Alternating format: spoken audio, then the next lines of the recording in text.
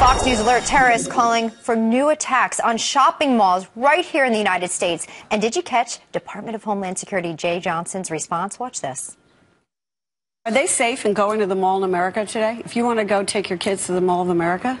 I would say that if anyone is planning to go to the Mall of America today, they've got to be particularly careful is being particularly careful what the American people exactly wanted to hear. Joining me now is Fox News legal analyst Peter Johnson Jr. You know, I, I, was, I, was, sitting home and I was watching that yesterday, and I don't know what you were feeling, Elizabeth, or, or at home what you were feeling, but I, I, thought it was staggering. It was a combination of vagueness, indecision, and surprise that we don't want to hear from the White House's handpicked head of Homeland Security. Sure. It was a bizarre amalgam of, of, of indecision um, and, and political correctness and strange language. Sure. I was looking here from the Homeland Security Chief that we're going to do everything we can that if you want to go to the Mall of America on a Sunday, then we're going to keep you safe. We're prepared and we're ready. The National Federation of Retailers put out a statement saying that, but we couldn't get it from Jeh Johnson yesterday, which I found to be really disturbing. Quite personally, from Homeland to Home, I use that phrase when I can't control the situation or don't have any specifics to offer my kids. Just that you be, be particularly careful. Well, when, when you say you should be particularly careful at the Mall of America,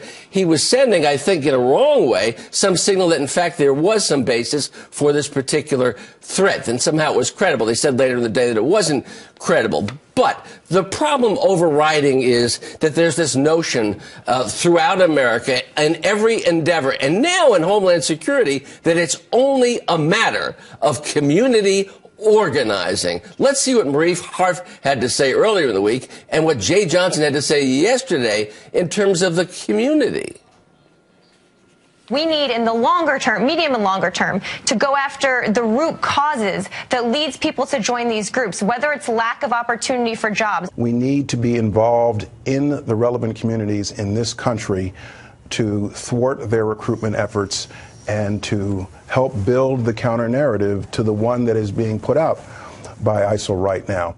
So it's jobs and need for community activity help that will build the counter narrative. The counter narrative is why these folks came to to the United States. Mm-hmm. The counter narrative is America. So what Jeh Johnson is going to do, is eh, go into Minneapolis and say, "I'm going to convince you. Don't become part of Al Shabaab. Don't become a, a part of ISIS. Don't become of Al Qaeda." Is he kidding?